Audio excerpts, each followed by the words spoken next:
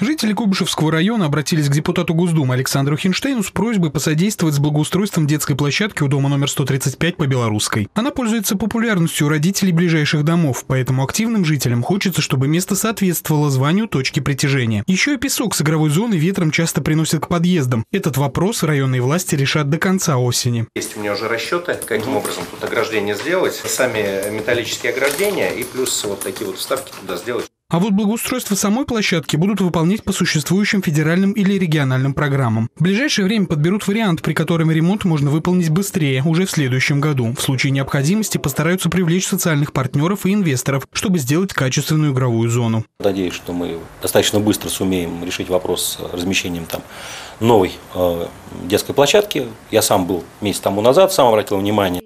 Также вопрос привлечения различных программ по благоустройству решат с жителями Октябрьского района. Инициативная группа самарцев, проживающих на пересечении улиц Часовой и Ярошевского, представили депутату свой проект реконструкции небольшой зеленой зоны у их домов. Они предлагают сделать музей под открытым небом, посвященный часовой продукции завода имени Масленникова. Александр Хинштейн отметил, что это станет отличным продолжением комплекса, включающего в себя сад баланса и фабрику-кухню, и пообещал помочь с поиском путей для реализации данной идеи. Когда люди сами выступают за то, чтобы менять свою жизнь, свою среду к лучшему, когда они неравнодушны, когда они действительно ну, вот, объединились, им всегда нужно идти навстречу, всегда нужно их поддерживать.